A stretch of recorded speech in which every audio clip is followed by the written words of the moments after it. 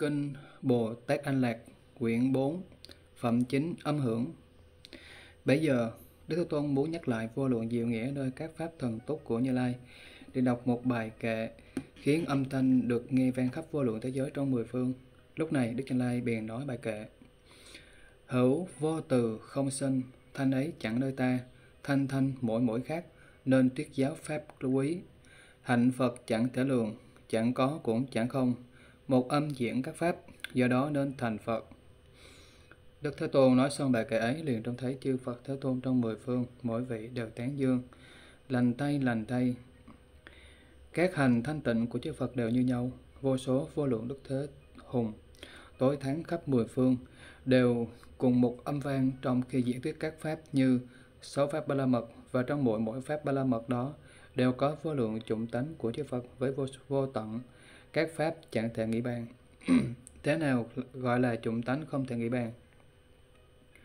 Như chư Phật trong mười phương thấy cùng một âm hưởng, nên dùng diệu nghĩa một bài kệ là có thể khiến cho khắp vô lượng chúng sinh ở mười phương đều hội nhập trọn vẹn vào pháp môn vô lượng, đều cùng một chí hướng trong một ngày, một lúc, thể đều thành tựu đạo quả, lại dùng một âm thanh làm cho lan tỏa đầy khắp vô lượng hàng xa quốc độ khiến cho chúng sinh ở các quốc độ ấy, ở các cõi ấy đều được nghe âm thanh kia, tự nhiên thức tỉnh, cởi bỏ mọi trói buộc, vĩnh viễn đạt được giải thoát. Lúc này, có một vị Bồ Tát tên là Giải Thích, là bậc luôn giữ gìn đủ mọi oai nghi để lìa bỏ mọi vọng cầu, thấu đạt các pháp, cái trí tự tại, đạt pháp nhận bất khởi. Bây giờ Bồ Tát Giải Thích liền rời chỗ ngồi đứng dậy để trần vai bên phải, đến trước Đức Phật quỳ mọp chắp tay cung kính thưa. Kính bạch Thế Tôn, Thật là vô cùng đặc biệt và kỳ diệu. Nay con được nghe Đức Như Lai nói một âm một tiếng vang. Ở trong một pháp đã tiết giảng toàn vẹn các pháp điển đầy đủ với các hành, chẳng phải là chốn mà hàng A-la-hán Bích Chư Phật có thể đạt được. Nay con muốn được thưa hỏi, làm thế nào để trong âm thanh này, tiếng vang ấy có được các pháp của Như Lai với đầy đủ các hành, khiến cho các chúng sinh kia Trước đã đạt được các pháp sâu nghe âm vang, đó mới được giác ngộ chăng? Từ trong âm thanh ấy phát ra các pháp có thể gọi tên được chăng? Bây giờ Đức Thế Tôn nghe Bồ Tát giải thích hỏi vậy, bèn nói, lành thay lành thay, đại vị tộc tánh tử. Bồ Tát nay đã hỏi Như Lai về các pháp không vô hình chẳng phải là chỗ đạt được của hàng A-la-hán bất Chư Phật. Nay ta sẽ vì Bồ Tát mà một mỗi phân biệt rõ Bồ Tát hãy lắng nghe và khéo suy nghĩ, ghi nhớ. Do âm thanh và tiếng vang của Như Lai như hư không, vô hình nên phát ra các pháp chẳng thể nghĩ bàn. Bồ Tát giải thế thưa, kính bạch Thế Tôn, thế nào gọi là âm hưởng của Như Lai như hư không vô hình? Làm sao lại ngôn tuyết và phát ra các pháp? Đức Phật hỏi Bồ Tát giải thích, âm hưởng của Như Lai là hữu hình chăng? Thưa là vô hình. Phật hỏi, Âm hưởng là vô hình, vậy thì tiếng vang ấy do từ đâu phát ra? Thưa, do bốn đại cùng nhân duyên hợp nên có thức nhận biết. Đức Phật lại bảo vị tộc tánh tử, như chỗ Bồ Tát hỏi, âm hưởng của Như Lai như hư không, vô hình, làm sao dùng pháp vô hình để làm phát ra các pháp?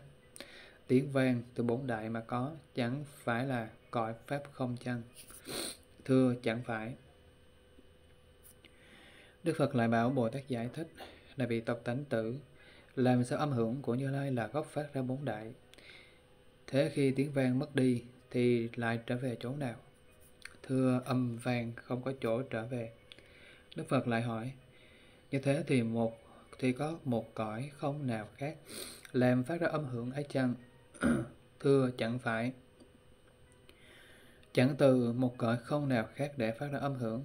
Đức Phật nói, cũng chẳng phải một cõi không nào khác, cũng chẳng phải cõi không ấy, hay chẳng phải Như Lai đảm bảo Bồ Tát. Bồ Tát giải thích thưa với Đức Phật. Kính bạch Thế Tôn, Thế Tôn nói, âm hưởng của Như Lai như hư không, vô hình, liền có thể phát ra các pháp. Đã biết rõ pháp ấy là từ âm hưởng của Như Lai nên mới phát ra các pháp. Vậy làm sao lại cho rằng ở nơi cõi hư không lại phát ra các pháp? Với người ở nơi u tối mong có được ánh sáng là điều khó đạt Nên nơi con lại càng thêm hoài nghi về điều ấy. Đức Phật lại bảo Bồ Tát giải thích. Này vị tộc tánh tử, ý ông nghĩ sao? Như hiện nay đối với các pháp này gọi là sinh. Thế thì các pháp hữu vi từ không chăng, chẳng từ không chăng. Bồ Tát giải thích thưa, pháp tánh của các pháp là từ gốc không, tánh không cũng không, cái không không ấy là từ không thì há có các pháp sao? Đức Phật nói đúng vậy, đúng như vậy. Như Bồ Tát vừa nói, các pháp của Như Lai như hư không, vô hình. Âm hưởng của bốn đại là phát ra từ bốn đại. Âm hưởng của Như Lai cùng với cõi hư không lẽ nào chẳng khác nhau chăng? Thưa chẳng phải. Như chỗ con hỏi là âm hưởng của Như Lai phát ra từ gốc là bốn đại, 便 làm phát sinh ra tất cả các pháp. Điều ấy thì không còn nghi ngờ gì. Nhưng vì sao lại cho rằng hư không phát sinh các pháp? Đức Phật nói, thôi, thôi, là vì tộc tánh tử, hãy nên thận trọng. Nên Bồ Tát nên nêu lên câu hỏi ấy đều thuộc về lĩnh vực uy thần của Như Lai. Là vì tộc tánh tử, thế thì âm hưởng của Như Lai là có chăng? Thưa, không có. Lại hỏi thế thì âm hưởng của Như Lai là không chăng? Thưa, âm hưởng ấy là như như. Đức Phật lại hỏi, âm hưởng của Như Lai chẳng phải có, chẳng phải không?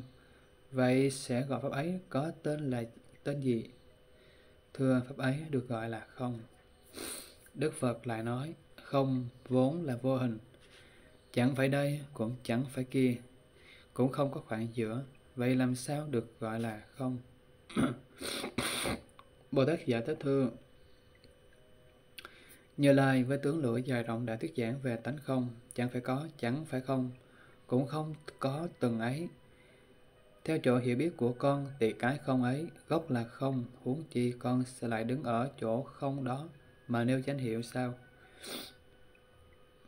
Đức Phật nói, này vị tập tánh tử, không là chẳng có, chẳng không, cũng không có khoảng giữa. Như ta hôm nay được gọi là Như Lai vô thượng chánh đẳng chánh giác. Mười tốn hiệu gồm đủ, cũng là chẳng phải có, chẳng phải không, cũng không có trung gian. Chỗ các pháp được thuyết giảng cũng lại như thế. Vì sao lại gán cho Như Lai nói rằng cái không với danh hiệu ấy là phát ra nơi Như Lai?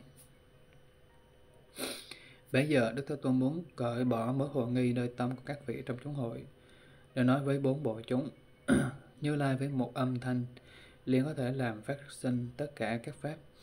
Thuyết giảng pháp ấy chẳng phải là hư dối, cũng chẳng phải là có thật.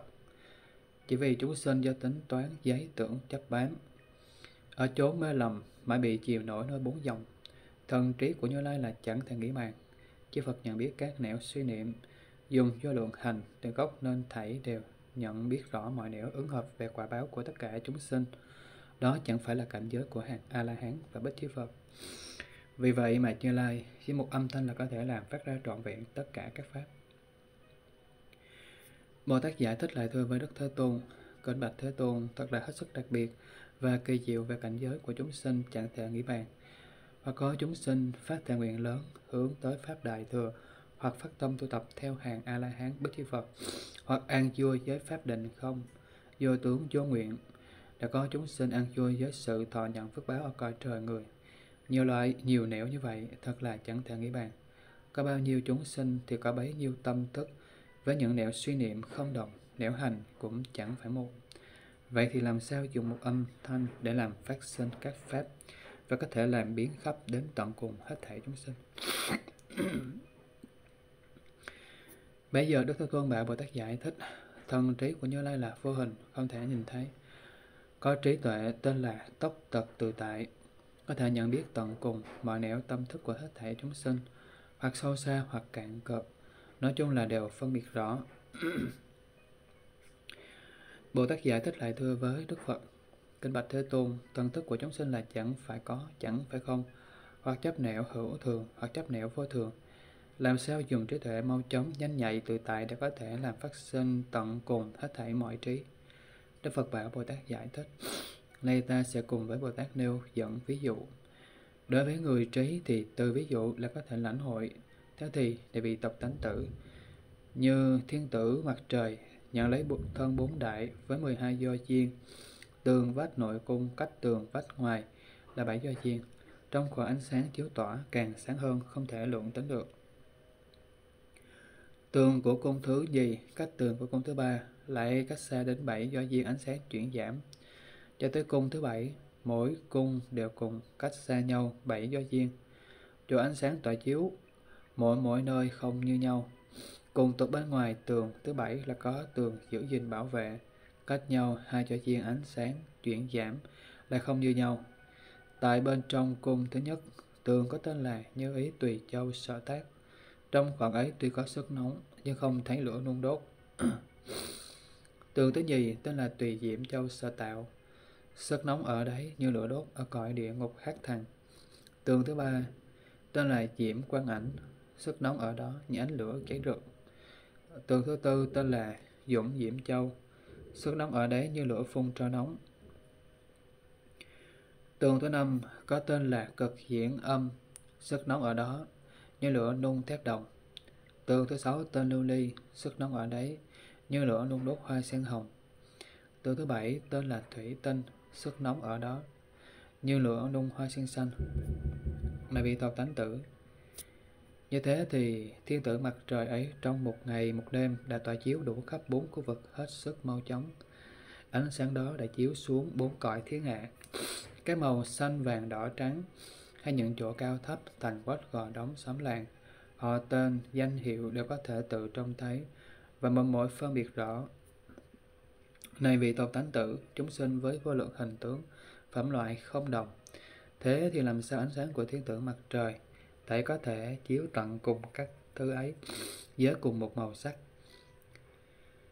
Là vì từ trong ánh sáng mặt trời đã phát ra vô lượng tia sáng chiếu soi vô lượng hình sắc, vì từ một tia sáng đã phải chiếu đến vô lượng hình tướng.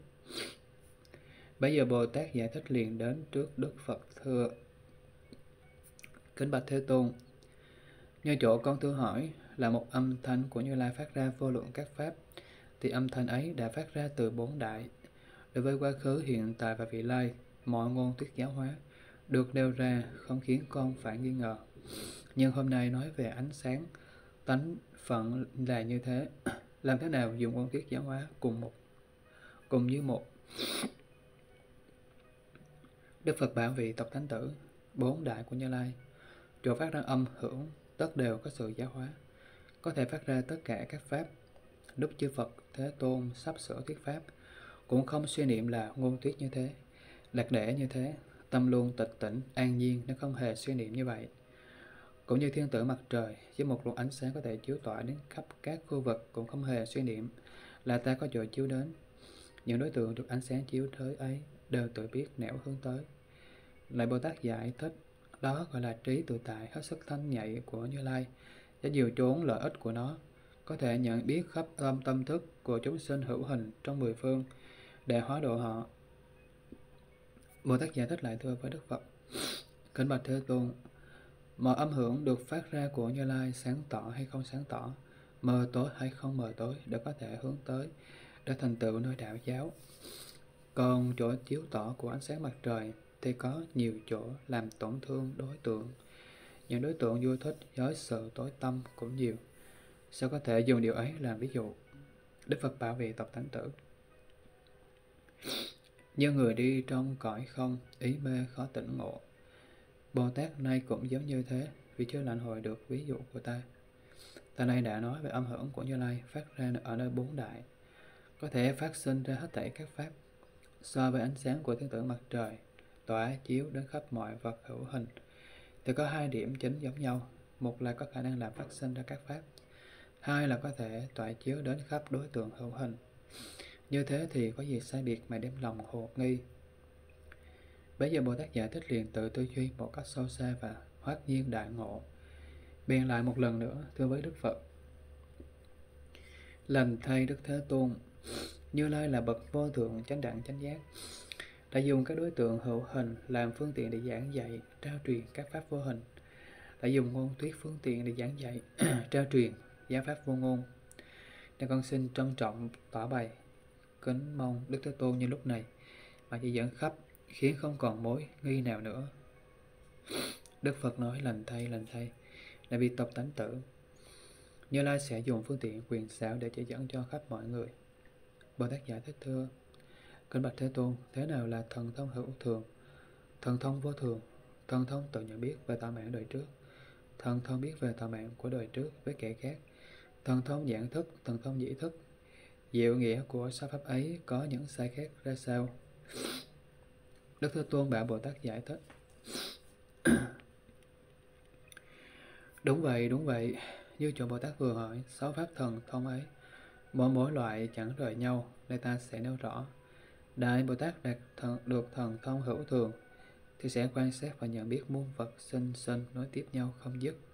Sinh ra trước thì là tiền sinh, sinh ra sau thì là hậu sinh. Nếu trải qua một kiếp đến trăm ngàn kiếp, kiếp giấy lên thì gọi là khởi, kiếp diệt mất thì gọi là diệt. Nhưng quan sát nhận thấy thức ấy là không bị hủy hoại. Vì sao? Vì gốc của vô minh rất sâu xa, chẳng có thể hủy hoại được. Lại nữa về thần thông vô thường ấy, lại cũng có thể quan sát và nhận thấy tất cả các loài chúng sinh, hữu hình có sinh có diệt. Từ một kiếp sinh cho đến trăm ngàn kiếp, kiếp giấy lên là khởi, kiếp diệt đây là diệt.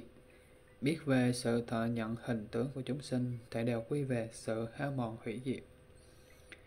Cái chẳng cái gì là thường còn, đó gọi là Đại Bồ Tát, đạt được thần thông hữu thường và vô thường, với những sai khác như vậy. Đức Phật bảo Bồ Tát giải thích. Là vì tập tánh tử, nếu các vị Đại Bồ Tát đạt được thần thông tự thức, thì liền có thể tự thấy được về một thân mạng, hai thân mạng, đến trăm ngàn thân mạng, từ kiếp này tới kiếp khác. Nói chung là trong quá trình lưu chuyển của thân mạng đều có thể tự nhận biết đầy đủ. Ta sinh ở nước nào, thuộc tỉnh huyện gì, tên họ, chúng tộc ra sao. Lại tự nhận biết về từ lúc mới thọ lãnh, thân tướng bốn đại với từng ấy chi tiết. Cũng nhận rõ về các nẻo tạo tác thiện ác. Đó gọi là thần thông tự thức vậy. Đức Phật bảo vị tộc thánh tử, Đại Bồ Tát đạt được Pháp thần thông, tha nhân trí ấy, thì từ cõi dục, cõi sắc này cho đến cõi trời hữu tưởng, vô tưởng, đều có thể phân biệt đầy đủ về mỗi mỗi nơi chốn hướng tới. Từ một năm đến trăm ngàn vạn năm, từ một kiếp đến trăm ngàn vạn kiếp. Trong ấy mọi nơi chốn trải qua với bao sự thành bại đều có thể phân biệt và nhận biết hoàn toàn. Đó gọi là Đại Bồ Tát đạt được Pháp Thần Tông Tri Tha Nhân.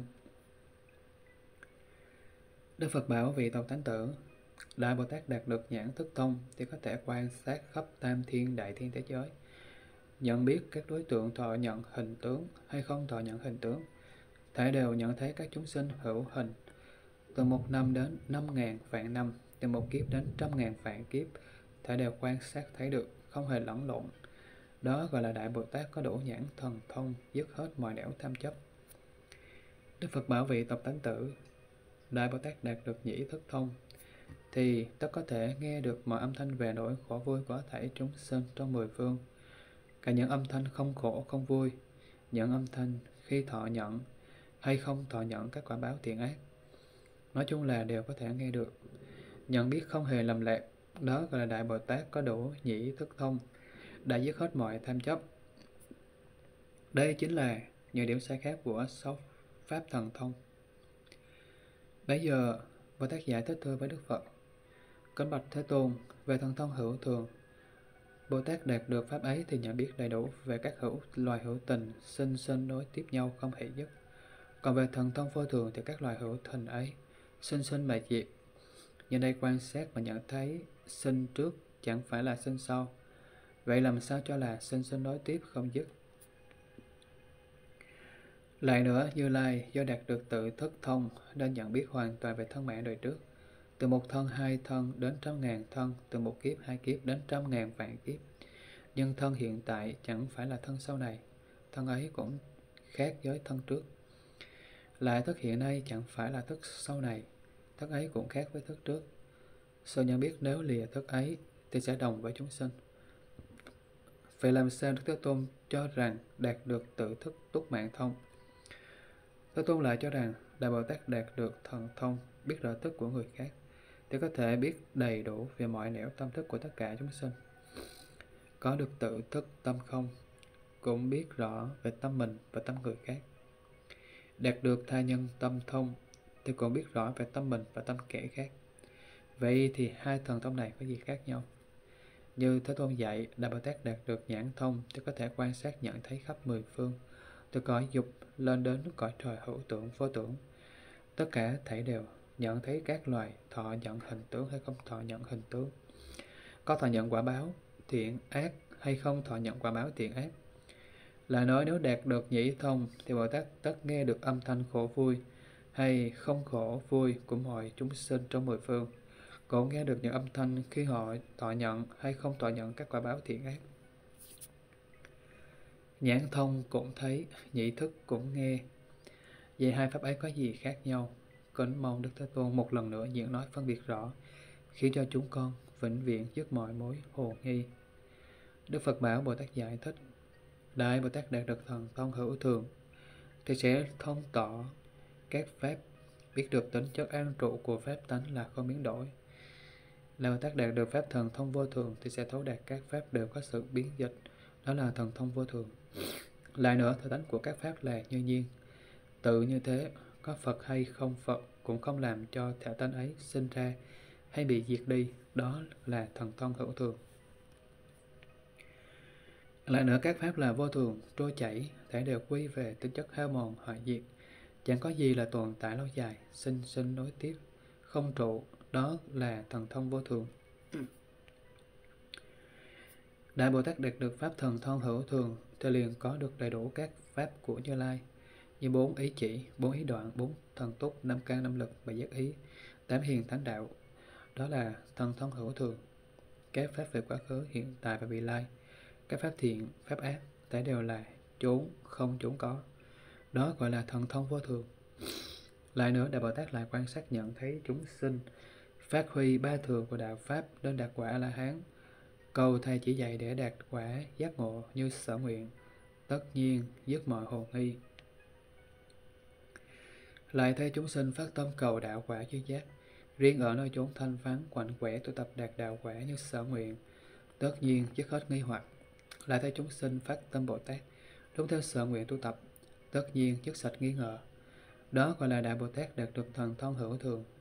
Do có các hàng thiện nam, thiện nữ lúc đầu tu tập mong đạt đạo quả A-la-hán và bích chi Phật, rồi cùng tu tập hạnh Bồ Tát.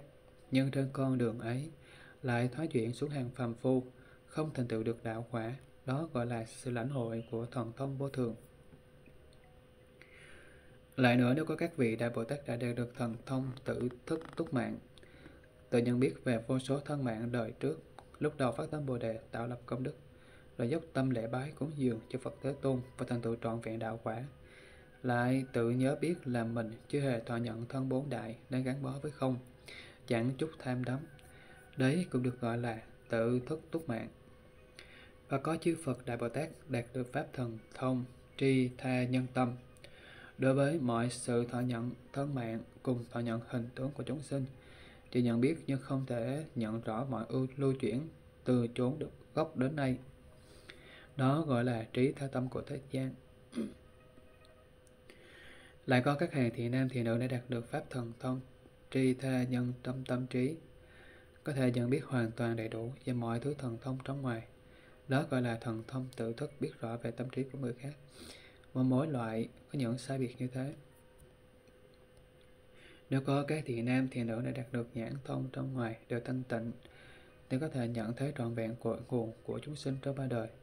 Hoặc có các vị đại Bồ Tát dùng thiên nhãn để nhận thấy một ngàn quốc độ, hoặc có vị Bồ Tát nhận thấy được hai ngàn quốc độ, hay có vị Bồ Tát nhận thấy được cả tam thiên đại thiên quốc độ, hoặc có các vị Bồ Tát dùng thiên nhãn trông thấy một cõi Phật hay hai ba cõi Phật. Trong ấy ta đều nhận biết rõ và những chúng sinh không thoái chuyển hay bị thoái chuyển. Đó gọi là Đại Bồ Tát đạt được thiên nhãn thông ta đều nhận biết các cõi là không chúng có. Đức Phật bảo các vị tộc tánh tử, nếu có các vị Đại Bồ Tát đã đạt được nhị thông, nghe được tận cùng mà âm hưởng nơi các quốc độ trong mười phương, có âm thanh thiện và âm thanh không thiện, có âm thanh tốt đẹp và âm thanh không tốt đẹp, đã có các hàng thiện nam, thiện nữ đạt được pháp thần tống ấy, có thể lắng nghe khắp về âm thanh nơi một ngàn, hai ngàn, ba ngàn quốc độ, và có các vị đại Bồ Tát nhờ pháp thần thông đó mà thấu triệt được mở âm hưởng nơi một, hai, ba cõi Phật, cho đến cả vô số cõi Phật. Bây giờ Đức Thế Tôn bảo Bồ Tát giải thích. Đối với sáu pháp thần tâm kia, Bồ Tát đã lãnh hội đầy đủ về sự khác biệt của chúng chưa? Bồ Tát giải thích thưa với Đức Phật.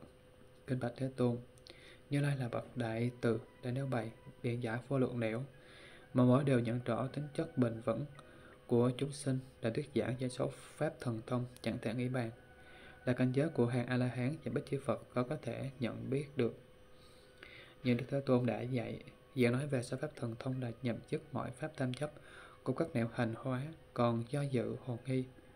Như đức thế tôn đã nêu rõ, thần thông hữu thường nói về các pháp niết bàn, thần thông vô thường nói về các pháp hữu vi. Nếu khiến cho các hàng thiện nam thiện nữ đạt được thần thông hữu vi, thì có thể làm thân ý liền chọn lấy sự giật độ chăng? Đức phật nói, không hề có chuyện ấy. Bồ tát giải thích hỏi, hết thảy các pháp là không sinh không diệt hôm nay đức như lai đã tự nhận biết về thân tướng, tức là diệt độ chăng? Như thế thì lại có pháp gì để ngôn thuyết giáo hóa? Đức thế tôn nói, chẳng phải là không nói về pháp niết bàn hữu thường, cũng chẳng nói về thần thông hữu vô thường. Chỉ là những pháp thần thông ta đạt được, nhận biết rõ về lễ hữu vô nên thuyết giảng về điều ấy. Bây giờ đức thế tôn bảo các vị tập tánh tử nếu có các hàng tiền nam, tiền nữ đạt được pháp thần thông hữu thường, thì liền được gọi là bậc như lai vô thượng chánh đẳng chánh giác. Còn như đạt được thần thông vô thường, thì cũng thì những người ấy hoặc ở nơi quả vị thánh hoặc ở nơi hàng phẩm phu. Đó gọi là sự khác nhau giữa hai pháp thần thông đó. Lúc này bồ tát giải thích liền thưa với đức phật. Kinh bạch thế tôn, như lai vô thượng chánh đẳng chánh giác đã đạt được thần thông nhãn thức để có thể nhận thấy một cách thấu triệt về mọi chúng sinh trong ba đời quá khứ, hiện tại và vị lai. Đó mới gọi là thần thông. Rồi thế tôn lại dạy, nhĩ thông có thể nghe được vô số âm thanh nơi cuộc sống trong ba đời quá khứ, hiện tại, tương lai. Nếu cho rằng mắt thấy được hình sắc quá khứ chăng? Quá khứ đã dứt rồi, thấy được hình sắc vị lai chăng? Vị lai ấy chưa có hình tướng. Mắt nhận thức và pháp giới hiện tại thì đồ ấy con không hồ hề hộ nghi. Con mong thế tôn hãy chỉ dạy khiến cho mọi chúng sinh không được nghe biết về vĩnh viễn được khai ngộ. Đức thế tôn bảo bồ tát giải thích. Bồ tát hãy lắng nghe, hãy lắng nghe và khéo suy nghĩ ghi nhớ. Ta sẽ vì bồ tát mà đâu rõ các ý nghĩa. Này các vị tộc tánh tử, thế nào gọi có chúng sinh đã đạt được thiên nhãn? Quan sát khắp hết thảy, mọi sắc tướng hữu hình đều có thể nhận rõ đầy đủ, không hề có sự nghi hoặc nhớ lại và các hình sắc quá khứ, hốt nhiên như hiện ra trước mắt, và đều thấu đạt trọn vẹn các đối tượng đó không bị trở ngại. Thần thông nhị thức lại cũng như vậy, sự nhớ nghĩ cũng được cái tái hiện nơi trước mắt và tai không hề bị ngăn ngại. Đó đều lãnh hội được thông suốt. Bồ tát giải thích lại thưa với đức phật. Kinh bạch thế tôn, như những điều con vừa được nghe thì càng thêm hộ nghi. Vì sao nhãn thông, nhị thông lại thấy được sự việc quá khứ, nghe được âm thanh quá khứ? Chứ con hiện tại tự nhận biết về thân mạng đời trước của mình, thì liền chỉ có thể tự biết rõ về mọi việc của thân mạng đời trước. Như nhị thức của con nơi hiện tại, nhận biết các việc hiện tại, làm sao biết được các việc về quá khứ, vị lai. Đức phật bảo bồ tát giải thích, hoặc có nhãn thông, nhãn định thức, hoặc có nhãn thông, phi nhãn định thức, hoặc có nhĩ thông, nhĩ định thức, hoặc có nhĩ thông, phi nhĩ định thức.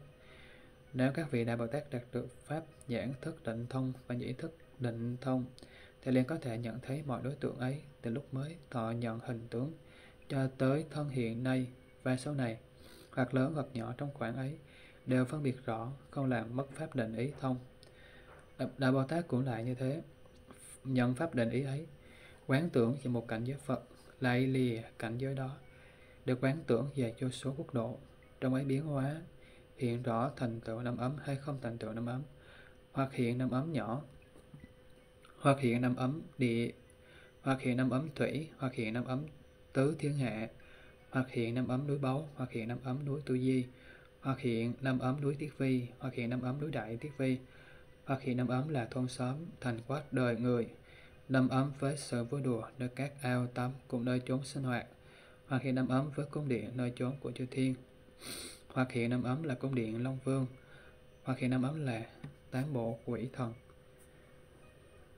hoặc hiện hình tướng chúng sinh ở cõi dục hoặc hiện cõi sắc và tạo nên hình tướng chúng sinh ở cõi sắc. Hoặc hiện cõi vô sắc tạo ra hình tướng vô sắc. Hoặc hiện tiểu thế giới và tạo ra hình tướng tiểu thế giới.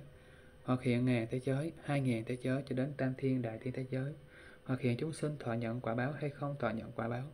Một lúc, một ngày, một tháng, một năm, kiếp thành, kiếp hoại, với đủ thứ trong, đục, tốt, xấu, nẻo, thiện, nẻo ác. Chư Phật xuất hiện ở đời, có các vị Bồ Tát Tháp Tùng, đều có thể nhận rõ tường tận. Đó gọi là định nhãn thức thông và định dĩ thức thông. Đã được các thần thông của Như Lai tạo cảm ứng đến mười phương cõi Phật, nhân đấy lễ bái cúng dường chư Phật Thế Tôn. Lại thấy các vị Bồ Tát dốc sức thực hiện việc cúng dường các loại y phục, thức ăn, giường nệm, đồ nằm, thuốc men chữa bệnh. Lại thấy nơi cõi Phật với những hiện tượng thanh tịnh, không thanh tịnh. Lại thấy chúng sinh có người tu tập phạm hạnh, có người chẳng tu tập phạm hạnh. Lại thấy chúng sinh nơi năm nẻo nhận lấy hành không đồng và chỗ tu tập mọi nẻo một khác. Đó gọi là Đại Bồ Tát đạt được định giải thức thông và định nhĩ thức thông quan sát tường tận mọi việc về quá khứ, hiện tại vị lai mà không có nơi chốn nào bị mất. Lại nữa, Đại Bồ Tát đạt được nhãn thức thông thì sẽ quyền biến hiện ra vô số cảnh giới chúng sinh trạng thái nghĩ bàn. Bèn có thể biến hóa đủ thứ, đủ loại cho báu. Những chúng sinh tìm đến để xin lấy những thứ cho báu đó thì thấy đều bố thí hết, khiến cho họ được sung túc. Họ lại thể hiện quốc độ của chư Phật với bản hạnh thanh tịnh, thể đều hoàn tất, nên không tạo thêm những gì mới nữa. Đó gọi là Đại Bồ Tát đã được định thức nhãn thông và định thức nhĩ thông có thể thực hiện đầy đủ tận cùng tất cả các hành. Bây giờ Bồ Tát giải thích thưa với Đức Phật kênh Bạch Thế Tôn đạt được định nhãn thức thông và định, định nhĩ thức thông. Các hàng thiện nam, thiện nữ ấy ở nơi đạo quả nào đã thực hiện việc cúng dường cho Phật và cúng dường vào những lúc nào? Đức Phật nói, những hàng thiện nam, thiện nữ ấy phụng trì tu tập định nhãn thức thông và định nhĩ thức thông đã từng cúng dường hàng xa cho Phật và quá khứ, đã đạt được các pháp tổng trì với hạnh không thoái chuyển, các căn đều gồm đủ và mọi hướng tốt đều thành tựu. Cha mẹ đoan chánh, tộc họ đông đảo, đã có các vị Bồ Tát tuy được cúng dường, lễ bái cho Phật Thế Tôn từ cõi Phật này đến cõi Phật khác, phụng sự kính lễ cho Phật Thế Tôn, nhưng chưa đạt được nhãn thức thông và nhĩ thức thông, hoặc có các vị Đại Bồ Tát tuy đạt được nhãn thông, nhưng chưa có được đầy đủ từ gốc của các hành, để dùng diệu lực thần túc du hóa đến vô lượng thế giới trong mười phương, phụng sự cúng dường cho Phật Thế Tôn. Hoặc có các vị đại Bồ Tát tuy đạt được nhãn thông và nhĩ thông, nhưng chưa có được định thức, nên chẳng có thể biết rõ về mọi nẻo tâm niệm của chúng sinh, chưa có thể giáo hóa chúng sinh và làm thanh tịnh quả Phật. Là có các vị đại Bồ Tát sáu pháp thần thông đều thấu triệt, đối với trong ngoài đều không còn bị ngăn ngại, nhưng lại chưa có được đầy đủ bốn pháp môn hành. Hoặc có các vị đại Bồ Tát ở nơi mỗi một cõi Phật đã đi giáo hóa khắp mọi nơi chốn mà không hề bị cống nhiễm tham đắm nhưng lại chưa có sự hiểu biết hoàn bị về cội nguồn của chúng sinh hoặc có vị đại bồ tát tự làm thanh tịnh đến quốc độ mình chúng sinh sinh vào nơi quốc độ ấy đều không còn tham dâm giận dữ si mê Tuy được sinh vào thế giới ấy, nhưng vẫn chưa dứt sạch hết gốc của sự khổ.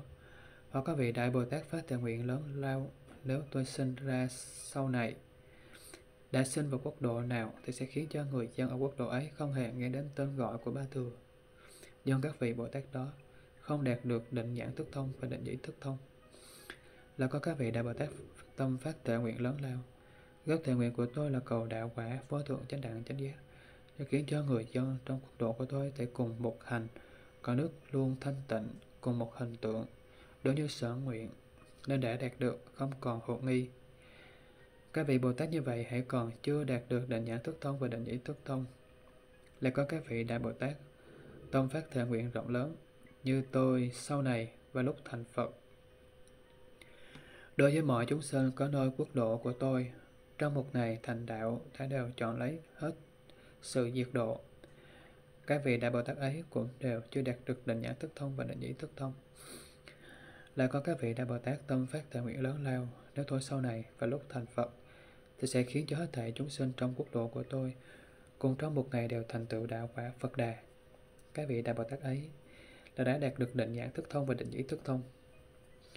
Bây giờ Bồ Tát giải thích thưa với Đức Phật, kính bạch Thế Tôn, vẫn có các vị Đại Bồ Tát phát thệ nguyện lớn lao như tôi vào lúc thành Phật thì sẽ khiến cho, cho hết thảy chúng sinh trong cùng một lúc đều được thành Phật chăng?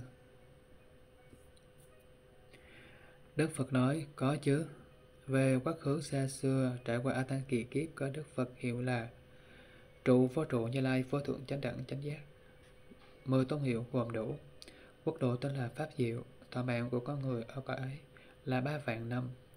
Thời đó, Đức Như Lai trụ vô trụ, thọ mạng là mười vạn năm.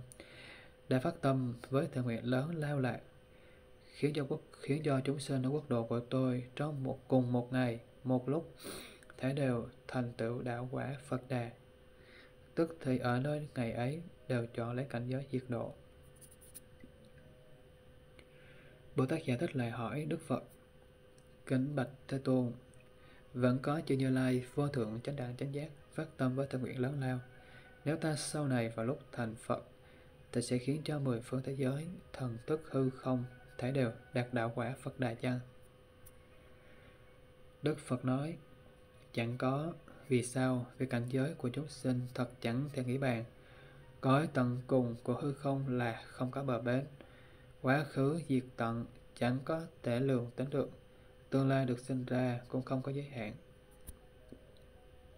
Đức Phật bảo các vị tập tán tử, Trước hiện kiếp này, Về vô số ác tăng kiệt kiếp thời quá khứ, Vượt qua số lượng ấy là trải qua vô số ác tăng kỳ kiếp, Có Đức Phật hiệu là Bình đẳng Như Lai Vô thượng chánh đẳng chánh giác Mười tôn hiệu gồm đủ xuất hiện ở đời Bây giờ thọ mạng của con người là một ngàn năm quốc độ luôn được thanh tịnh.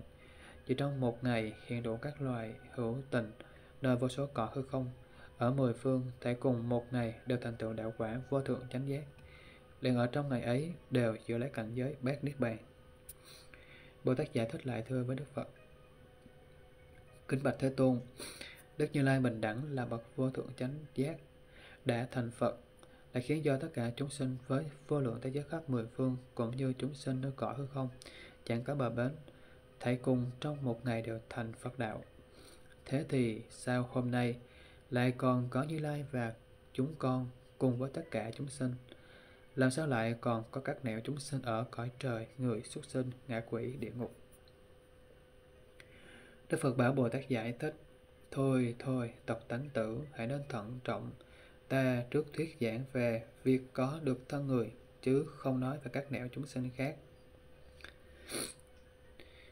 Bồ Tát giải thích lại thưa với Đức Phật Kinh Bạch Thế Tôn Vẫn có các vị Đại Bồ Tát phát tâm với thần nguyện lớn Chỉ trong một ngày có thể khiến cho mọi chúng sinh trong năm nẻo Cùng trong ngày ấy đã đều thành Phật chân Đức Phật bảo Bồ Tát giải thích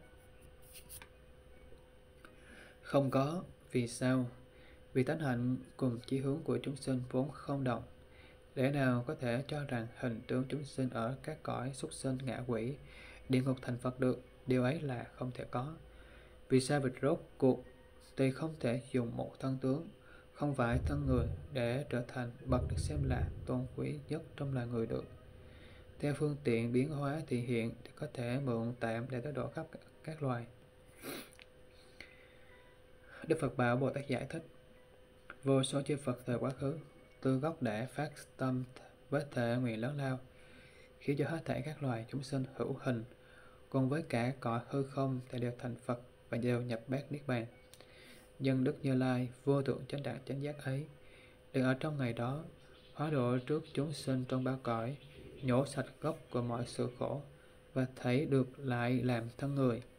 Đạt được cõi người rồi, vì các căn phải đầy đủ, sáu tình cũng không hề thiếu sau đấy thì mới trong một ngày cùng thành tựu Phật đạo. Do các tướng đầy đủ thì như ta hiện nay là bậc Như Lai vô thượng chánh giác, thân trí tự tại, biện tài vô ngại, tất nhiên là sẽ giữ lấy cảnh giới diệt độ. Bồ Tát giải thích thưa với Đức Phật, Kính bạch Thế Tôn, Bồ Tát với tự nguyện lớn lao nhằm giáo hóa chúng sinh, trong ấy phải trải qua sự khổ hạnh giới vô lượng kiếp. Vì sao? Có phải là vì đã không thực hiện ngay đối với chúng sinh trong ba nẻo đều khiến họ đều thành tựu Phật đạo chăng? Đức Phật nói, chẳng thể thành tựu được. Này các vị tộc tánh tử, vì sao? Vì ba nẻo đường ấy chẳng phải là ba nẻo đường thiện. Như vậy thì làm sao mong muốn ở trong ba đường đó thành tựu được Phật đạo? Việc này là chẳng thể được, cũng như có người mong muốn có được bảy thứ cho báu nên đi bỏ trốn có bảy thứ báo cho báu để đi tìm nơi cõi không thế người đó có thể tìm được bảy thứ cho báu chăng Bồ Tát giải thích thưa, kính bạch Thế Tôn không thể tìm được. Đức Phật nói, đúng vậy, đúng vậy. Nay các vị tập tánh tử, muốn khiến cho chúng sinh đôi ba đèo ác kia thành tựu được Phật đạo, điều ấy không thể được. Phẩm 10. Nhân duyên Đức Phật bảo các vị tập tánh tử Nếu có các thiện nam thiện nữ dốc lòng thọ trì, độc tụng, pháp định nhãn thức và định nhị thức thì liền đạt được 10 thứ công đức. Những gì là 10? Nhưng đối với các vị Đại Bồ Tát đem tâm vô lượng đạt được hình tượng hư không, không dùng ngôn giáo để giáo hóa chúng sinh và làm thanh tịnh cõi Phật, thì các hàng thiện nam, thiện nữ tự nhận biết về vô số hình tướng, gốc ngọn, thấu rõ tính chất hư tịch ấy thấy là không chúng có, giấy khởi pháp nhẫn vô sinh. Lại nữa là các vị tập tánh tử, nếu có vị Đại Bồ Tát sẽ an tỏa nơi đạo tràng, thì liền có được đầy đủ pháp giới thanh tịnh, giúp vị Như Lai tu tập pháp nhất tướng vô hình. Và có vị Bồ Tát đạt được một pháp ấn, nhân đấy diễn nói về do luận giáo pháp của Như Lai, chẳng phải theo thầy thọ pháp mà tự nhiên giác ngộ. Lại nữa này các vị tập tánh tử thực hiện một pháp gốc rộng lớn vô bờ bến, dùng pháp vô tướng để sinh ra gốc của các pháp. Thế nào là vô tướng, sinh hữu tướng? Đức Phật nói, như hình sắc ở bên ngoài với các màu xanh, trắng, đỏ, đen, vàng. Bồ Tát giải thích thưa, kính bạch Thế Tôn, Như Lai đã thuyết giảng về tính chất thần diệu hư không, chẳng phải quá khứ hiện tại vị lai cũng không có tên gọi của năm ấm. Vì sao lại nói đến các màu xanh, vàng, đỏ, trắng, đen? Đức Phật nói, Pháp dân duyên ấy là chẳng thể nghĩ bàn, do chúng sinh tự khởi tưởng về duyên, có hành thì có thức, do thức mà sinh mới lầm nên mới thành thân người. Bồ Tát giải thích thưa với Đức Phật, kính bạch Thế Tôn, như Đức Thế Tôn đã dạy hư không là vô hình, do sắc cầm bốn đại là địa thủy hỏa phong mà có sắc. Này, con xin hỏi Đức Như Lai, thế nào gọi là sắc của bốn đại là địa thủy hỏa phong là xanh vàng đen trắng như Đức Thế Tôn đã nói, như các màu sắc xanh vàng trắng đen hư không, thức ở trong cõi không. Sao lại không nói rằng các màu sắc xanh vàng đỏ, trắng. Ở đây các màu ấy là hoàn toàn chẳng phải hư không. Đức Phật nói không thể được. Vì sao? Vì mỗi mỗi sự vật tự nó đã là không, tánh không, chẳng biết tánh hữu. Tánh hữu không biết tánh vô. Cũng như các vị Đại Bồ Tát chỉ trong khoảnh khắc một niệm có thể nhận biết vô lượng hàng xa quốc độ thế giới của chư Phật với kiếp thành, kiếp hoại mà mỗi đều thông tỏ thấu đạt các đối tượng ấy mà không giấy tưởng chấp về chúng. Nhân duyên của các pháp là tự sinh tự diệt, gốc của ngã không do không mà sinh, sinh sinh bất diệt. Là quan sát về vô lượng A Tăng Kỳ các cõi, quan sát thấy các vị Bồ Tát có được trí tuệ giác ngộ làm trăng bất độ, làm thanh tịnh cái loài chúng sinh từ quốc độ của chư Phật ấy mà diễn giảng nếu bày đạo giáo cấp chúng. Ở Tăng Kỳ, chư Phật Như Lai thấu tỏ tận cùng về nơi chốn xuất phát của các Pháp. mọi mỗi đều phân biệt, cũng không chút tưởng về chấp và ngã. Là đối với chư Phật Như Lai vô thượng chánh đẳng chánh giác. Được nghe những điều cốt yếu của các Pháp thâm diệu là dốc tâm thọ trì, thừa hành không hề lìa bỏ gốc của các Pháp. Bồ Tát bấy giờ cũng không tự thấy là có ngã hay không có ngã, thực hiện hạnh Bồ Tát mà không thấy có sự thực hiện ấy. Đó gọi là nhân của hữu là giấy khởi từ vô lượng tướng, từ vô tướng. Trong ấy chẳng tự diệt hình tướng. Thân tướng tuy là chỗ để phát sinh sự quan sát, quán tưởng nhưng không nhưng cũng không tự thấy. Cũng không có chỗ hiểu biết thông tỏ. Đã không có chỗ hiểu biết thì cũng không giấy điểm về cái, cái ấy. Không có tưởng chấp về vô ngã, Bồ Tát phải tự nhận thức đối chiếu nhân đấy mà liền có thể nhận biết về hết thảy các pháp do minh chuyên hành hành chuyên thức tức duyên danh sắc danh sắc duyên cảnh lạc. Cho đến sinh lão tử cũng là như thế. Bây giờ đã gồm đủ các hành. Bồ tát lại suy nghĩ như vậy. Hết thảy các pháp là do nhân duyên tương hợp mà sinh nhân duyên lìa nhau thì diệt. Từ lúc mới phát tâm cho đến khi thành phật, mỗi mỗi đều quan sát và thấu tỏ hình tướng của các pháp. Duyên sinh, thời sinh, duyên diệt, thời diệt. Do minh diệt thì hành diệt hành diệt thì thức diệt thức diệt thì danh sắc diệt. Danh sắc diệt thì cánh lạc diệt. Cánh lạc diệt thì ái diệt ái diệt thì thọ diệt. Thọ diệt thì hữu diệt hữu diệt thì sinh diệt. Sinh diệt thì mọi lão, bệnh, tử, ưu bi, khổ não đều diệt. Cần giữ lấy lời quan trọng này đang bấm giấy khởi mạnh chính là gốc của các hành. Không nương tựa mà cũng chẳng thể nương tựa. Nhưng biết được sự giấy khởi nối tiếp từ chúng này đến chúng khác. Ở nơi ấy tự thức tỉnh để nhận ra các pháp giới. Ánh sáng của các pháp luôn thanh tịnh, không lìa bỏ vì hiện tại. Đại bồ tát tư duy để nhận rõ về 12 nhân chuyên vì sao gọi là vô minh chuyên hành? Này các vị thiền nam, thiền nữ, do gốc là vô minh nên tạo ra các hành thiện ác. Nhân đó, dốc sinh ra 12 pháp gốc là bất thiện. Dần dần thành tựu năm hình tướng giác khởi mạnh mẽ. Đó gọi là vô minh duyên hành. Bây giờ thì kheo quá hình liền ra chỗ ngồi đứng dậy, để trần vai bên phải, đầu qua bên phải chạm sát đất, chắp tay cung kính thưa với đức phật. Kính bạch thế tôn, như con đã được học về 12 nhân duyên là pháp hết sức thâm diệu và con xin thử nếu bày. Do mình duyên hành, thì liền sinh ra 12 duyên. Hành duyên thức cũng liền sinh ra 12 duyên. Thức duyên danh sắc cũng liền sinh ra 12 duyên. Danh sắc duyên cánh lạc cũng liền sinh ra 12 duyên. Cánh lạc duyên lục nhập cũng liền sinh ra 12 duyên. Lục nhập duyên ái cũng liền sinh ra 12 duyên. Ái, duyên, thọ cũng liền sinh ra 12 duyên. Thờ chuyên hữu cũng liền sinh ra 12 chuyên hữu chuyên sinh lão bệnh tử. Chứ bao nỗi lo buồn khổ não cũng lại sinh ra 12 chuyên như chỗ lãnh hội của con về 12 nhân chuyên ấy, thì si mê diệt tức hành diệt.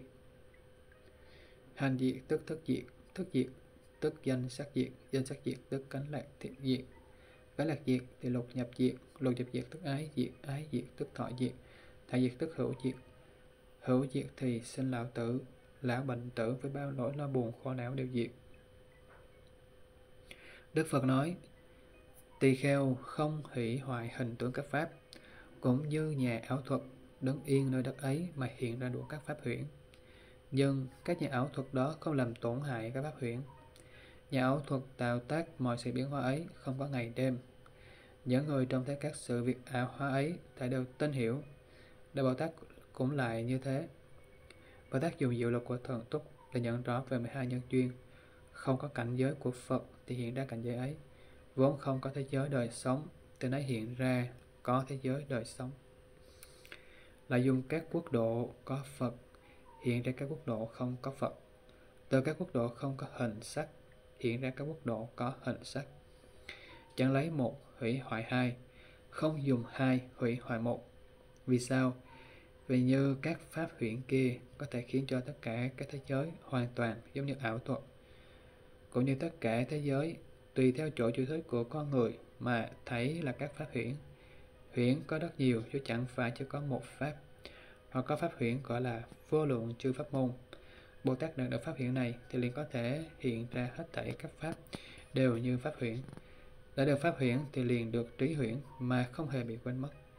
Đã được trí huyễn thì liền có được hành huyễn, có thể dứt trừ sạch, hết sạch mọi khổ. Đại Bồ Tát đạt được trí huyễn, hành huyễn thì liền có thể ở trong ấy. Dùng trí huyễn để có thể phân biệt tường tận các hành. Mà mỗi tư duy không làm mất cõi tu tập gốc. Như các pháp hiện kia không dựa vào đất hiện ra các pháp nơi bên ngoài cũng không chuyên không dựa vào bên ngoài. Khi cho mọi chúng sinh hiện có trong pháp đại bồ tát cũng là như thế không dùng tánh không để phân biệt trong ngoài cho rằng ta sẽ vượt qua tất cả thế giới. Cũng không dùng thế giới ở nơi trong ngoài pháp không. Vì sao? Về tánh hư không là như nhiên không hủy hoại pháp giới. Mà pháp giới cũng không hủy hoại tánh hư không. Đại Bồ Tát ở trong ấy đạt được tánh hư không, lớp lớp quan sát vào tất cả pháp giới.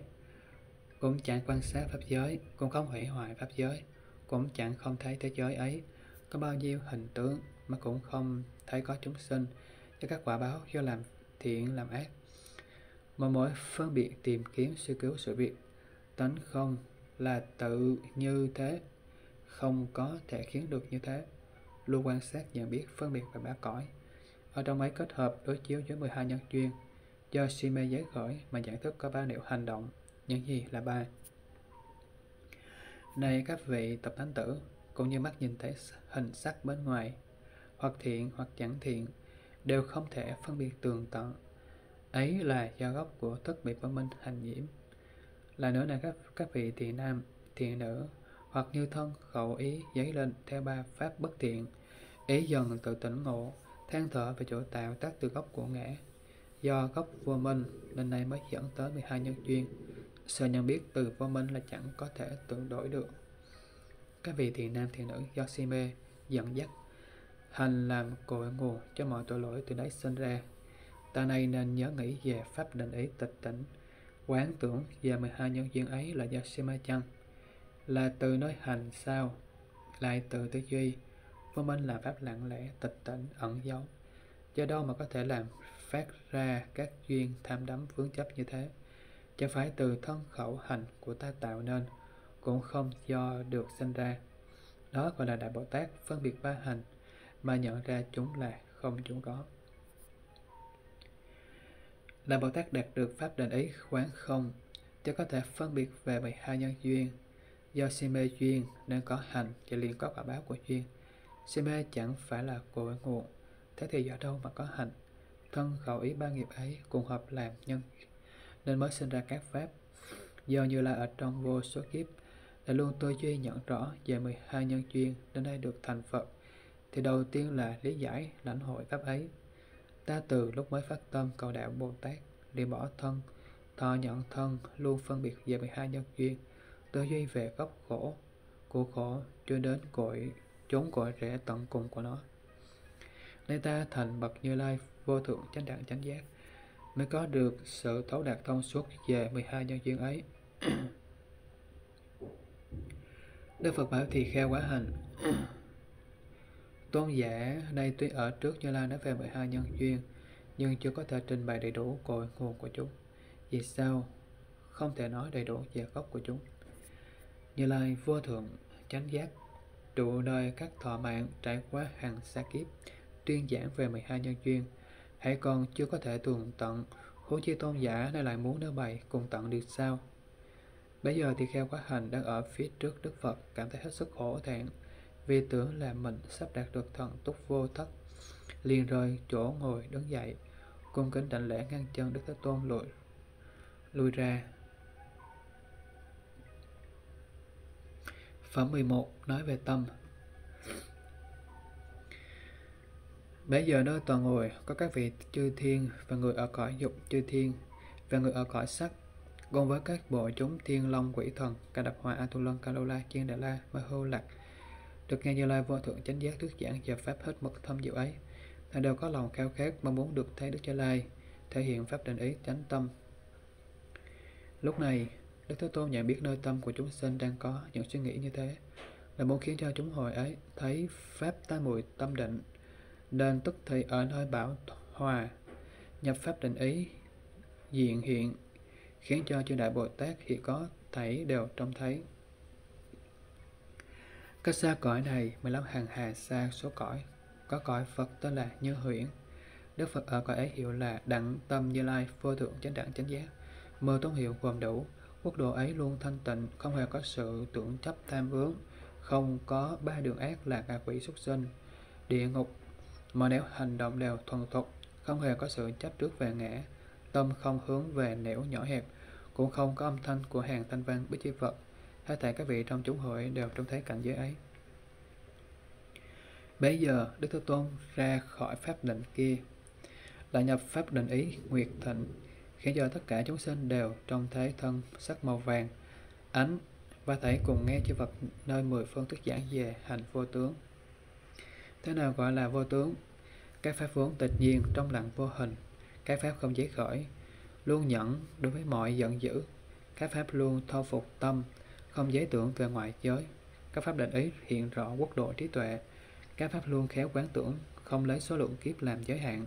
Các pháp tạo ăn chui cho mọi hành, vĩnh viễn liền bỏ ân ái. Các pháp luôn hiện rõ ánh sáng, không sinh si mê vọng tưởng. Các pháp dứt trừ trừ dứt tham lam, tu tập đầy đủ pháp thí ba la mật. Các pháp không hề có sự sai phạm, còn đủ pháp tu trì giới ba la mật các pháp không giấy tưởng chấp giận dữ còn đủ pháp tu nhẫn nhục ba la mật các pháp luôn tinh tấn không có biến trễ gồm đủ pháp tu tấn ba la mật, các pháp không làm, giấy, ý, loạn, tâm được thao phục, an định luôn vui với thiền, gồm đủ pháp tu thiền định ba la mật. Các pháp dứt trừ hết sạch ngu muội mê lòng không còn một niệm khác lạ nào. Gồm đủ pháp tu trí tuệ ba la mật. Là có bốn pháp gọi là bốn ý chỉ, là pháp tu hành của hàng đại bồ tát. Những gì là bốn ý chỉ? Nếu có các vị tiền nam, tiền nữ, nhận rõ nẻo dừng của ý trong thân tướng của mình, từ đầu đến chân và mỗi đều nhận rõ làm sinh sự quan sát về tính chất bất tịnh của thân từ quan sát về thân mình cũng quan sát thân của người khác, tự quán tưởng về tâm mình, cùng quán tưởng về tâm của kẻ khác. Các pháp trong ngoài thể đều như thế. Đại bồ tát là tự quan sát các pháp với các pháp tu tập như bốn ý đoạn bốn thần túc năm căn năm lực, ba giác ý, tám hiền thánh đạo. Đó gọi là đại bồ tát thực hiện pháp vô tướng, đức phật bảo và các vị tập thánh tử đại bồ tát tự quan sát về thân mình rồi quan sát thân người khác. Mỗi mối đều phân biệt từ đầu đến chân, làm khởi tưởng bất tịnh. Đó gọi là đại bồ tát quan sát về trong ngoài thân tướng để nhận ra thảy là không thực có. Bây giờ đức thế tôn liền nói và kể khen ngợi. Chẳng dựa tâm ý thức, nhận rõ gốc các hành, đạo còn dứt tưởng niệm, mới hợp nẻo giác ngộ. Tuệ phật chẳng bến bờ, chẳng thấy có lì hợp, thành phật từ vô tướng, mới hợp nẻo đạo quả phật đạo gốc không hai là cũng không nhất tướng. Thiện từ khắp người chân, thể hiện ngần ấy pháp ngã gốc chẳng tạo ngã, do nhiễm thành năm ấm. Bậc tự giác vô lượng tiến tới ý tự diệt. Chẳng có cũng chẳng không, sinh tử giấy diễm nắm tướng diệt tự thành phật, nên hiệu thiên trung thiên. Sinh làm người đã khó, sáu căn đầy đủ khó. Bị hai chuyên dứt khó, sinh thiên nhận phước khó. Gặp gỡ hiền thánh khó nhập định dứt tưởng khó, quán trong ngoài thân khó, lãnh hội giáo hóa khó. Đức Thế Tôn nói xong bài kệ ấy thì nơi toàn hội chư thiên, chúng nhân cùng tán bộ chúng thiên long quỷ thần, thấy cùng phát tâm cầu đạo vô thượng chánh đẳng chánh giác, là có vô số chúng sinh đã được pháp nhận bất khởi. Kinh Bồ Tát Anh Lạc, quyển 4 phẩm 12 bốn thánh đế. Bây giờ Đức Phật bảo Bồ Tát Văn Thù xin lợi về thời quá khứ, trải qua vô số ác tăng kỳ kiếp có Đức Phật hiệu là Đại Nhân Như Lai, là bậc vô thượng chánh đẳng, chánh giác, mười thông hiệu gồm đủ. Có Phật tên là không tịch. Chính ở nơi cõi ấy, Đức Như Lai thành tựu bậc giác ngộ vô thượng, đã cùng bốn chúng đệ tử thuyết giảng pháp phi diệu, bốn hiền thánh đế, hóa độ rộng khắp mọi chúng sinh, khiến họ đều đạt đến cảnh giới niết bàn, vô dư, chọn lấy cõi giải thoát. Những gì là bốn thánh đế? Một, vô lượng thánh đế bồ tát đạt được pháp thánh đế ấy thì chỉ trong một niệm đã tự diệt tâm cấu ế và cũng có thể diệt trừ tâm cấu ế của người khác. Chả còn thấy phiền não trần cấu là hữu tận hay vô tận. Hai, hành tận thánh đế. Bồ tát đạt được pháp thánh đế này thì chỉ trong một niệm có thể khiến cho hết thảy chúng sinh thông tỏ về các hành của thân, khẩu ý, hoặc thiện hoặc ác thể đều hướng tới cửa đạo từ đấy khiến cho chúng sinh còn đạt đến cảnh giới niết bàn, vô dư. Ba, tốc tật thanh đế. Bồ tát đạt được pháp thanh đế thì có thể khiến cho hết thảy chúng sinh thì trong khoảng thời gian bốn ngón tay đều thành tựu phật đạo. Vô lượng, vô hạn, chẳng thể nêu tính số lượng được chỉ trong một ngày để thành tựu đạo quả, là khiến cho vô số tăng kỳ quốc độ nơi các loài chúng sinh trong ấy đều sinh tâm thiện, dốc kính lễ cúng dường cho Phật Thế Tôn, dùng hương hoa vải lụa cùng hòa tấu kỹ nhạc để cúng dường. Khắp a tăng kệ quốc độ của Đức Phật đều hóa là một nẻo, một bảo cái, dùng để cúng dường. Tỏa ra trên khắp bên trên các cõi trời, thế gian, luôn được giữ vững như thế. Tự nhiên các thứ thức ăn uống, y phục giường chiếu và nằm thuốc men chữa bệnh. Thì trong khoảnh khắc một niệm thể đều được bày biện, bày hiện đủ. 4. Đặng Thánh Đế, Bồ Tát đã được Pháp Thánh Đế này đều có thể khiến cho tất cả chúng sinh dốc cùng một hướng không có các hình tướng sai khác ở nơi cảnh giới Niết Bàn vô dư mà nhập bát Niết Bàn còn như ánh lửa huyện hóa bùng lên như hình ảnh bầy ngựa hoàng thế giới không tịch vô hình thật chẳng thể đạt được giữ lấy được Đại Bồ Tát cũng lại như thế giáo hóa chúng sinh làm thanh tịnh quốc độ chư Phật như không thấy có chúng sinh được hóa độ, cũng lại không thấy có người hóa độ và kẻ nhận sự hóa độ ấy. Chẳng phải là không có chúng sinh, chẳng phải là chẳng không chúng sinh, chẳng phải là chẳng có chúng sinh thanh tịnh, chẳng phải là chẳng không chúng sinh thanh tịnh, chẳng phải là chẳng có ô trọc, chẳng phải là chẳng không ô trọc, chẳng phải là chẳng có thọ thai, chẳng phải là chẳng không thọ thai, chẳng phải là chẳng có, chẳng phải là chẳng không có, chẳng phải là chẳng có sinh tử, chẳng phải chẳng không sinh tử, mà mỗi đều phân biệt để nhận ra thảy là không thực có. Nhận biết về 12 nhân duyên lại cũng như thế. Từ si mê cho đến 12 nhân chuyên đều chẳng phải có, chẳng phải không, cũng như bầy ngựa rừng. Thế giới chẳng có thể thu đạt giữ lấy, không gần không xa. Tuy giáo hóa chúng sinh nhưng không thấy có sự giáo hóa ấy. Đại Bồ Tát cũng là như thế, quán tưởng cho Như Lai vô thượng chánh đẳng chánh giác có sinh, chẳng thấy có diệt, cũng chẳng thấy có tướng, cũng chẳng không tướng. Như Lai vô thượng chánh đẳng chánh giác, dùng các pháp vô tướng để giáo hóa chúng sinh, làm thanh tịnh quả Phật. Nếu có tưởng về cõi Phật, không có Phật, có tưởng về có Pháp, không có Pháp, có tưởng về có tỳ kheo tăng, không có tỳ kheo tăng. Này Bồ Tát Văn Thù Sư Lợi, đó gọi là Đại Bồ Tát đã đạt được Pháp vô tướng trụ nơi Pháp không tái chuyển, không không còn bị chướng ngại. Ví như có người trong giấc mộng, thấy mình làm vị quốc vương hay vị chuyển luân thánh vương. Khi thức giấc thì liền nhớ lại cảnh trong mộng với những sự việc đã làm, chẳng hề quên mất.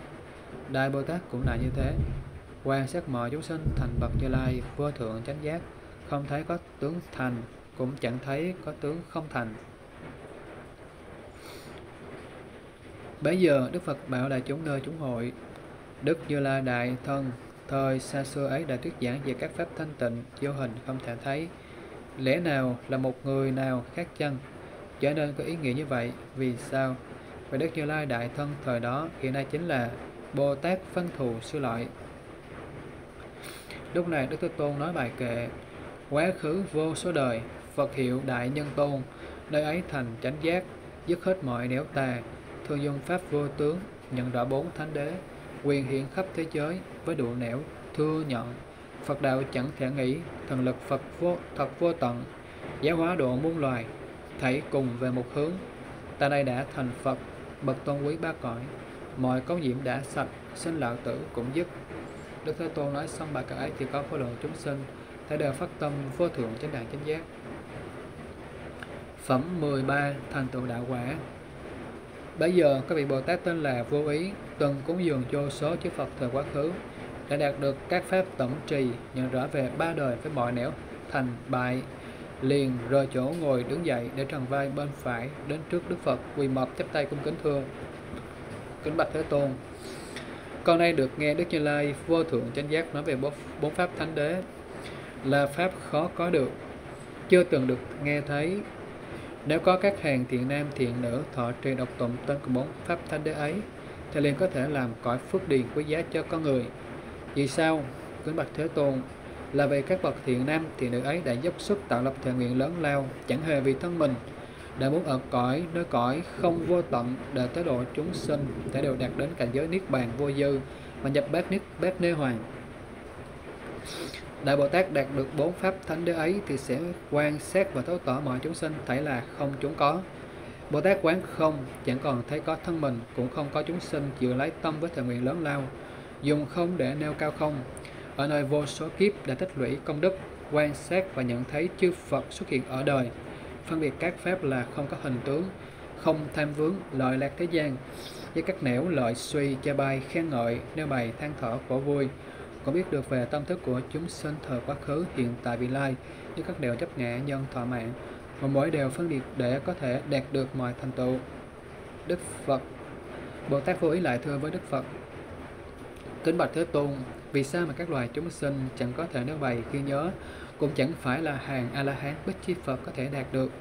Do số hàng xa chi Phật thời quá khứ, và có nhiều bậc đã phát tâm cầu đạo Bồ Tát cho rằng ta dù trải qua thời gian rất lâu cũng sẽ thành tựu đạo quả vô thượng chánh đẳng chánh giác ta có thể dốc hết cõi hư không để nhận biết về cội nguồn của chúng sinh trong khắp cõi hư không đã có thể phân biệt chúng sinh nơi hư không đã có thể nhận rõ về các nẻo hướng tới hay không hướng tới của thức nhận chúng sinh như thế thể khiến cho khiến trong một ngày đã có thể thành tựu đạo quả được chăng đức thế tôn bảo bồ tát vô ý về thức của quá khứ, hiện tại và vị lai chẳng phải là cảnh giới của Bồ Tát có thể phân biệt. Những điều mà Bồ Tát vừa nêu hỏi đều thuộc lĩnh vực uy thần của Phật. Vì sao? Vì Như Lai vô thượng chánh đẳng chánh giác nên mới có thể mở mỗi tuyên giảng thông suốt về các pháp thâm diệu Đức Phật nói tiếp này các vị tập thánh tử Tức quá khứ như chỗ Bồ Tát vừa hỏi là tức có thể nhận biết tường tầng và sự lưu chuyển nơi các cõi trời, người trong bốn đường. Cho đến tám bộ chúng trên mọi nẻo từng trải qua và hướng tới thức đều có thể phân biệt đầy đủ. Bồ Tát vô ý thưa với Đức Phật Như Lai là bậc vô thượng chánh giác đã phát tâm với thần nguyện rộng lớn nhằm có thể cứu vớt khóa độ mọi chúng sinh đâu quá khứ hiện tại và vị lai. Làm sao chỉ trong một ngày đều được thành Phật hết cả? Đức Phật nói này Bồ Tát vô ý triệu hỏi của Bồ Tát là hết sức lớn. Ta nay sẽ vì Bồ Tát mà mọi mỗi phân biệt đời nhận biết rõ mọi ý nghĩa của vấn đề được nêu hỏi. Thức quá khứ chẳng có, chẳng ở trong quá khứ, thúc đẩy sự nhận thức, sự nhận biết về quá khứ. Khi được thành Phật, chẳng ở trong hiện tại, thúc đẩy sự nhận biết về hiện tại. Khiến được thành Phật, cũng chẳng ở trong vị lai, thúc đẩy sự nhận biết về tương lai. Khiến được thành Phật, vì sao? Vì thức quá khứ chẳng phải là gốc của sự nhận biết về quá khứ thức vị lai chẳng phải là sự nhận biết về vị lai thức hiện tại chẳng phải là sự nhận biết về hiện tại Bồ Tát vô ý nên biết thành tựu đạo quả Phật quá khứ có ba về việc thực hiện. Đó gọi là có tâm ban đầu, có tâm phát sinh và có tâm đối với chúng sinh. Thế nào là tâm ban đầu? Bồ Tát vô ý nên biết bản vô của Như Lai, vô thượng chánh đẳng chánh giác, điện ở nơi ấy mà giáo hóa chúng sinh. Cùng ngày, cùng lúc hết thảy đều thành tựu Phật đạo, đó gọi là tâm ban đầu. Thế nào gọi là tâm phát sinh? Đấy là tâm đã bị có nhiễm vừa được diệt trừ khiến tâm không còn bị ô nhiễm nữa. Thế nào là tâm đối với chúng sinh? Do có chúng sinh từ kiếp này sang kiếp khác, cho đến cả trăm ngàn kiếp luôn bị chìm đắm trong phiền não sinh tử. Chân bậc đại Bồ Tát ấy đã dốc trừ hết thảy mọi phiền não cấu nhiễm đã buộc đối với chúng sinh cùng tới độ giáo hóa họ. Này Bồ Tát vô ý, đó gọi là ở trong quá khứ thành tựu ba vị Bồ Tát vô ý nên rõ. Như lai vô thượng chánh giác đối với đời vị lai của sẽ gồm được ba pháp. Những gì là ba pháp? Như tâm Như Lai chưa thọ nhận sự việc hiện tại thì điều ấy cũng sẽ tiến tới. Lại nữa này Bồ Tát vô ý, tâm vị lai đã trải qua một ngày để bị cố nhiễm. Để Bồ Tát cần nên dứt trừ mọi trần cấu đến ngày ấy. Đại vị tập tánh tử nên biết thời vị lai di chuyển từ một kiếp đến trăm kiếp cho đến cả vô số a tăng kỳ kiếp thì Như Lai vô thượng chánh giác phải nhận biết về thân ấy cùng với mọi phiền não cố ế. Đó gọi là ở trong vị lai luôn gồm đủ ba pháp Đức Phật bảo vị tộc tánh tử, Như Lai vô thượng chánh giác, ở trong hiện tại cũng sẽ gồm đủ ba pháp ấy, những gì là ba pháp. Trong hiện tại, thức ban đầu chưa bị phiền não cấu nhiễm, liền khiến thức ấy trong một ngày thành được đạt được giải thoát. Nếu trong một ngày, hai ngày liền sinh phiền não cấu nhiễm thì có thể diệt trừ hết mọi cấu nhiễm trong một ngày, hai ngày đó. Như thế thì các vị Đại Bồ Tát ấy mới thành tựu Phật đạo. Đức Phật bảo các vị tập tánh tử nếu đối với hiện tại, từ một thân đến trăm ngàn thân giấy sinh các thứ phiền não cấu nhiễm thì Bồ Tát cũng đều nhận biết và dứt trừ. Đó gọi là Đại Bồ Tát ở trong hiện tại còn đủ ba pháp. Đức Phật bảo Bồ Tát vô ý. Về quá khứ, với tâm ban đầu, chỉ trong một ngày hóa độ hết, tức là Đức Phổ Thế Như Lai, vô thượng chánh đẳng chánh giác. Thời quá khứ, về quá khứ, với tâm phát sinh khiến cho mọi chúng sinh đều được đội ơn các hóa độ ấy tức là đức vô đẳng như lai vô thượng chánh đẳng chánh giác về quá khứ với tâm và chúng sinh khiến mọi người đều được đội ơn tới độ ấy tức là đức nguyên bản như lai vô thượng chánh đẳng chánh giác về vị lai với tâm ban đầu khiến mọi người đều được đội ơn tới độ ấy tức là đức không sắc như lai vô thượng chánh đẳng chánh giác về vị lai trong một ngày đều được đội ơn hóa độ ấy tức là đức không môn như lai vô thượng chánh đẳng chánh giác về vị lai về vô số thân được đội ơn hóa độ ấy tức là đức định ý như lai vô thượng chánh đẳng chánh giác. Về hiện tại, giới tâm ban đầu thảy đều được hóa độ ấy, tức là đức vô thân như lai vô thượng chánh đẳng chánh giác. Về hiện tại, giới một hai thân đều được hóa độ ấy, tức là đức thiện tinh tú như lai vô thượng chánh đẳng chánh giác vì hiện tại với vô số thân đều được hóa độ ấy, tức là đức nguyệt quang như lai vô thượng chánh đại chánh giác. Này vị tập tánh tử, đối với chính loại ấy, chỉ hướng của Bồ Tát sẽ chọn nẻo nào? Là muốn theo tâm ban đầu, thời quá khứ chăng? Hay là tâm phát sinh, thời quá khứ chăng? Hoặc tâm vì chúng sinh, thời quá khứ chăng? Là muốn theo tâm ban đầu, tâm một hai ngày, tâm vô số kiếp, thời vị lai chăng? Hoặc là muốn theo tâm ban đầu, tâm một hai ngày, hay tâm vô số thời hiện tại chăng? Bây giờ Bồ Tát vô ý liền đến trước Đức Phật thưa, Kính bạch Thế Tôn. Như con lúc mới phát tâm cầu đạo vô thượng Bồ Đề, Cho có thể tự biết nhận biết là mong cầu con đường nào. Nay được nghe Đức Như La nói về chính đạo hành hóa, Thì hiện tại con xin bắt đầu phát tâm Với thệ nguyện hết sức lớn lao, Nhằm đạt được tâm ban đầu, Chưa thọ nhận trần cấu ấy của thời quá khứ. Đức Phật nói Thôi thôi, Bồ Tát hãy nên thận trọng. Bồ Tát như thế là đã rơi vào sự tham chấp đối với tâm ban đầu. Là vì làm sao mà chỉ có được tâm ban đầu là có thể thành tựu bậc vô thượng chánh đẳng chánh giác? Điều ấy là không thể được. Bồ Tát chú ý thưa với Đức Phật. Kính bạch Thế Tôn là đối với tâm ban đầu của quá khứ đã không thể đứng vững. Con nguyện mong được tâm phát sinh của quá khứ để hóa độ chúng sinh thể cùng đạt được trí tuệ thành tựu đạo quả vô thường chánh đẳng chánh giác. Đức Phật nói Bồ Tát nay đã vượt qua được cõi bị rơi rớt xuống hàng thấp kém, nhưng chưa có thể đạt được độ những thành tựu để thoát độ chúng sinh, đưa họ tới đạo quả vô thượng bồ đề. Bồ tát vô ý lại thưa với đức phật, kính bạch thế tôn, làm thế nào đối với chúng sinh bị phiền não, cấu nhiễm ở quá khứ, phát tâm thần nguyện rộng lớn thành tựu đạo quả vô thượng cho đại chánh giác, để hóa độ họ được chăng?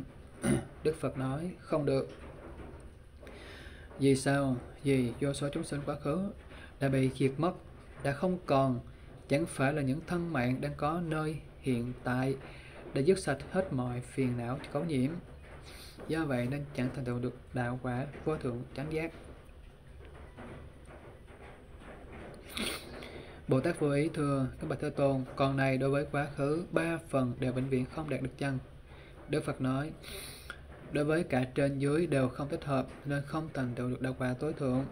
Vì sao? Vì gốc phát tâm với thượng nguyện rộng lớn của Bồ Tát chẳng phải đối tượng này, cũng chẳng phải đối tượng kia, nên không thành tựu được bồ tát vô ý thưa, kính bạch thế tôn, vậy thì nay con muốn lìa bỏ vị lai một hai tâm, lìa bỏ mọi phiền não có nhiễm ở vị lai là có thể theo tâm ban đầu của hiện tại để thành tựu được đạo quả vô thượng chân đức phật nói, chẳng được